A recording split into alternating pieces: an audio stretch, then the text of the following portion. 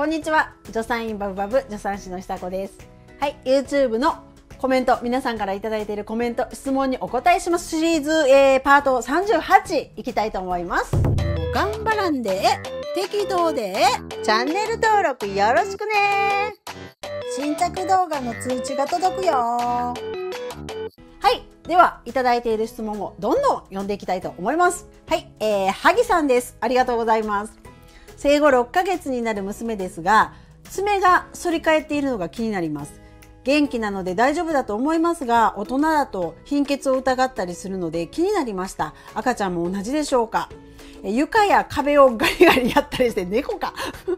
すぐ折れてしまい常にえー、爪が折れた後のような線が入っていて痛そう。爪が薄いからだと思いますが反り返っているから余計に折りやすいのかなと思ったりもします。こまめに切ってあげるしか対策はないですかね。はいそうですね。赤ちゃんの爪は薄いよね。薄いんですよ。だからこそ大人みたいなこの分厚さがあればねあの反り返っちゃうっていうことはあんまりなくてもう反り返ったりそういう貧血とかねほんまにあのそういうなんか病的な何かがあって反り返るっていうことはあるかもしれないけどこの分厚さがあればそんなに反り返っちゃうっていうようなことはなかったりするんだけど赤ちゃんの爪もほんまにもう何これでもふわふわやんっていうぐらい柔らかいからどうしてもその柔らかいがゆえに反ってしまったりあとは逆にこう巻いてしまったりっていうようなことがよく起きるんですね。あとは2枚爪こうあのこうピキってこう縦に割れるんじゃなくてこう爪自体がこうこう割れるっていう二枚爪って言いますけどこんなことが起きたりっていうのはよくありますね。だからもうこれはあの爪が分厚くなってくるのを待つしかないんでね。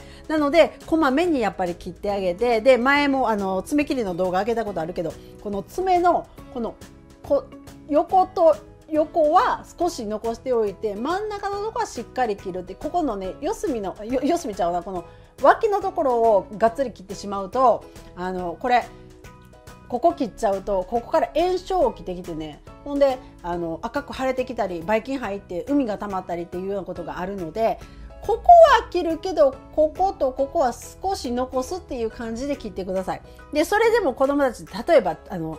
畳とかで過ごしてるとでもこうカリカリしたら面白いんやろうね。ほんま猫かネズミかみたいな感じだけど。カリカリカリカリやるんですよ。ほんならそれでね爪が割れてきてしまったりねさらに反ってしまったりね。下手したらそこから流血したりっていうことがよくあります。なのでできればやっぱり赤ちゃんがいるあのお部屋っていうのはもうフローリングとかが一番いいかもしれないね。で畳やったらそこにこうフローリング調のラグを敷いてあげるっていうのがいいんかなっていうふうに思います。で、えー、カーペットはどうしてもあれはダニの巣になりますのでねできたら避けた方がいいかなっていうふうに思います。あとは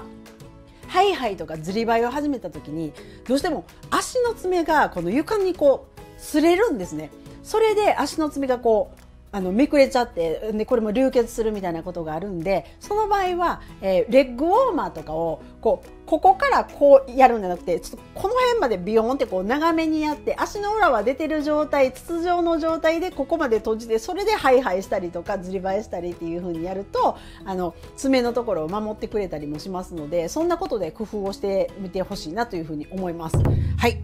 歯の子 VN さんです。ありがとうございます。寝返りと離乳食について質問させてください。我が家には5ヶ月になった娘がいるのですが、ぽっちゃりさんなためか、寝返りまではまだ時間がかかりそうです。以前、久子さんの動画で、首座りのためのうつ伏せ練習は特に必要ないよというお話を伺ったんですが、離乳食は左右の寝返りができてから始めてくださいとの指導をとある助産院で受けました。そこで寝返り練習をちょこちょこしながら様子を見ているのですがこのまま寝返りするまで離乳食開始を遅らせるべきなのか特にこだわらずにもう始めてしまってもいいのか。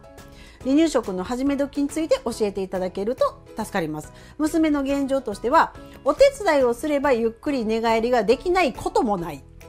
うつ伏せでいられる時間が少しずつ増えて余裕ができ出てきた。今まではすぐに泣いていましたが今ではうつ伏せにしても笑顔が見られるようになりました、えー、大人が食べている時には笑う。でもまだ口はもぐもぐはしない。よだれが増えた。お座りは不安定。ということです。えこのあのとある助産院でのその指導っていうその寝返りこっちの寝返りもこっちの寝返りも両方ができるようになってから離乳食を開始するというなんでなんやろ？ななんでその状態になったら離乳食開始してもいいっていうその理由が私にはちょっとよくわからないんですけどいや寝返りするまで待ってたらね例えばうちの11番目のトトちゃん寝返りしたんね生後11ヶ月でしたよ。めっちゃくちゃ遅かったですよ。いやきっとあの力は能力はあったと思うんですよ。でも彼女はうつ伏せが嫌いでねでもうハイハイもしないしもうあのずりばいもしないしっていうことでうつ伏せになろうとしなかったんですうつ伏せにすると怒るなんですんねん言って怒られるってだから寝返りはできるけどでもやりませんけど何かみたいなそんなことやったんやろうなと思うんですけど寝返りっていうのは本当にまあ子供の成長発達っていうのは寝返りだけじゃなくて首の座りもそうだしお座りできる時期もそうだしつかまり立ちする時期もそうだけど本当に個人差があるのね。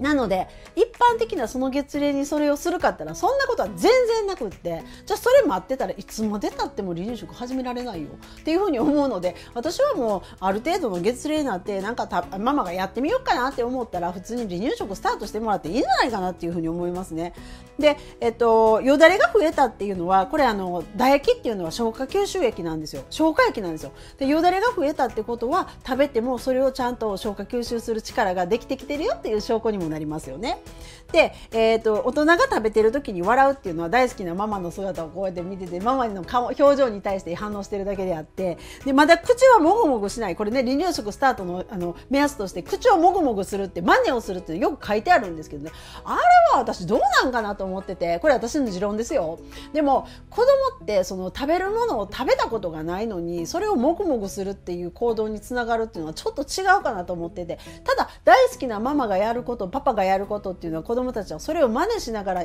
せあの大きくなっていくからね。言葉とかでもだからママの口癖とかも見事に子供に遺伝遺伝値があの伝わるしね。そんなことよママがよっこら一緒っていうのが癖やったらあの初めて喋った言葉が「うん今日やった」とかね。そんな話も聞きますけども。はい。なので全部真似をしていくんですよ。だからそのもぐもぐっていうのは子供が食べたいから口をもぐもぐさせてるんじゃなくて大好きなママがやっているその動作をただ真似してるっていうだけのことなんですよね。はい、そんな風に考えてもらったらいいから口をもぐもぐしてないからだから離乳食まだとかもぐもぐさせてるから離乳食だっていうのもなんかちょっと違うんかなっていう風に思いますね。まあ、一つの目安としては歯が生えてきたらそれでスタートっていうようなこともあるけどもでもそれかってね1歳超えるまで歯1本も生えない子もいるんですねそしたら1歳まで離乳食できひんやみたいになるからねだからもう大体なんとなくの感じでもう5ヶ月6ヶ月になってきてそろそろやろうかなってママが思ってたらその直感に従ってあのやってみてもらったらいいですよ。お座りがまだ安定してなかったら別に座って抱っこしてちょっと上半身こうやって上げた状態で膝の上でこうやってこうやって上げても全然構わないしね。お座りできなくても何にも構わないと思いますよ。はいそんな感じであんまりこのあの先入観この月齢になったらこれをスタートでこの月齢になったらこれをしなかったらあかんみたいなそういう頭あたい頭ちょっと外していきましょうね。はい柔らかく柔軟に子育てはしていきましょう。えっ、ー、と、萌えさんです。ありがとうございます。3歳と2歳を育てるもうすもうすぐ5ヶ月の妊婦です。あ、3人目やね。すごいね。はい。ずっと気になっていることがありまして、第1子の出産の時の話です。えー、予定日当日から朝から定期的な陣痛があり、病院に行って入院になりました。まだ全然我慢できる痛みだったので、余裕でお昼ご飯とおやつも食べました。夕方からだんだん痛みが強くなり息見逃しの仕方が分からずベッドにうずくまって痛みに耐えていました。子宮口7センチからなかなか開かず変な感覚の陣痛だねと言われただけで助産師さんはどっか行っちゃいました。1分休みがあって3分陣痛に耐えるという聞いてたのと全然違うってなりながら耐えてました。でも息みたいのを我慢できずに何回も力が入ってしまいました。夜の23時ぐらいに高熱が出て赤ちゃんも危険かもしれないということで緊急帝王切開になりました。出てきた赤ちゃんは 3450g で元気な産声を聞かせてくれましたがやっぱり赤ちゃんも熱があるらしく保育器で様子見になりました。後で聞いた話によると羊水も汚れていたみたいです。あの時生き見逃しをできず踏ん張ってしまったから結局帝王切開になったのかなと今でも後悔しています。私は啓蟄分娩で産みたいと思っていたのでその夢が叶うことはなく私の耐えられなかった弱い気持ちが赤ちゃんも苦しめていたのかなと思うと申し訳ない気持ちでいっぱいです。生き見逃しを上手にできなくてまだ赤ちゃんが降りてきていないのに踏ん張ると私みたいなことが起きるのか知りたくて質問しました。ということです。えっ、ー、とねこれねあのー、萌えさんのせいじゃないね。はい。違うね。これねあのママが夜23時に陣痛始まってだいぶ経ってから熱が出た。これおそらく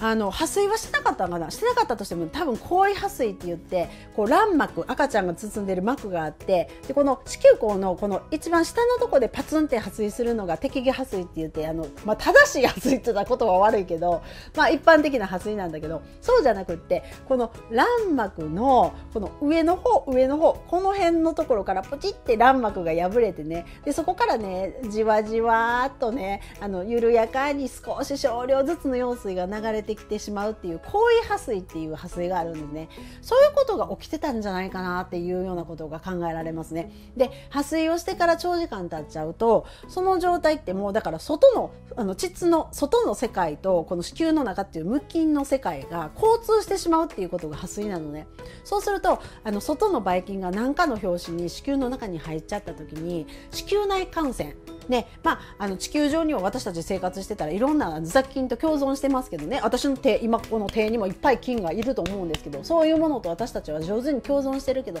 ただやっぱりお腹の赤ちゃん生まれてくる赤ちゃんっていうのはまだまだ免疫力もないし弱い。だから普通普通に私たちが共存してる菌であってもそれが子宮の中に入ってきた時にはそれで感染を起こしてしまうということがあるのね。でママも熱が出た。で赤ちゃんも熱出たっていういうことがあって。で羊水も汚れてたっていうのはおそらくお腹の中でちょっともうしんどくなってきちゃってあのうんちをお腹の中でしちゃったのでね。で羊水が濁るっていうようなことが起きたんだけどもおそらくその、うん、ママが生きんだからっていうことではな萌えさんのせいではなくてその行為破水少しどっかで破水をしていてそこで子宮内に何か菌がばい菌が入ってしまってそれで親子ともに熱が出て熱が出た状態っていうのは赤ちゃんはしんどい状態になりますから。ね風邪ひいた状態やからねまあ言うたら。本来やったらお腹の中ではしないうんちをしてしまったっていうことが起きたのかなっていうのが一つのあの仮説。でもう一つはね予定日ジャストやったっていうことやったのでねあの昔はねそのね羊水があの汚れるっていうのをあの大便をしてしまううんちをしてしまうっていう状態はこれ赤ちゃんがお腹の中でもうしんどいよ助けてよっていうことのあの所見であるっていうふうに昔は言われてたんだけど今はあの医学は発展してきてね変わってきてます。だから、えっと、NST あの CT 術も今分娩監視監視装置お腹に機械つけてたとモニター取ってたと思うんやけどそれで赤ちゃんの心拍がバンバンに落ちてくるみたいなことに合わせて、えーと、お腹の中でうんちをしちゃうっていうことが両方がある場合はこれはやっぱりお腹の中で赤ちゃんが低酸素状態になってしんどかったねっていうふうに判断するんだけど、えーと、心拍特に落ちたりとかっていうこともそんなになくってあの除脈が出てきてなくってでも生まれてきた赤ちゃんが大便してて様子が汚れてたっていうパターンの時はこれお腹の中で大便をするっていうのは赤ちゃんの成熟兆候としてもこういうことがあるっていうのが今もう立証されて分かってるんですね。だから必ずしも羊水が汚れてたからといってそれが赤ちゃんがしんどかったっていうそのあのそこはね直結してはつなげられないんですよ、うん、だからそこもそうやってあの羊水汚れてたのは私が生きんでしまって赤ちゃんがしんどい状態になったからお腹の中でしんどい状態を作ってしまったんやっていうことは考えなくてよくてもちろんそういうケースもあるんだけどそうじゃなくて成熟した赤ちゃんが元気であるっていうその証拠にも大便をするっていうことがあるんだよっていうのも覚えておいてほしいなというふうに思います。ですから、まあ、そういうことなのでねまだ子宮口全開していない陣痛もまだそこまでではないだけど生きみたいっていう状態で生きんだからといって赤ちゃんにうんぬんっていうのはないと思います帝王切開になった理由はおそらおそらくというか間違いなく、うん、子宮内感染を起こしてしまったそれが原因なのでこれ誰のせいでもないです萌えさんのせいでもないし赤ちゃんのせいでもないたまたま今回のお産この大師ちゃんの時のお産こういう風な経過になっちゃったねっていうだけのことなので誰も悪くはありませんそんな風に考えてもらったらと思います。はい。皆さんからの質問にお答えしますシリーズパート38読ませていただきました。はい。12人目産んじゃいました。助産師久子の子育て学校。チャンネル登録してぜひ入学してください。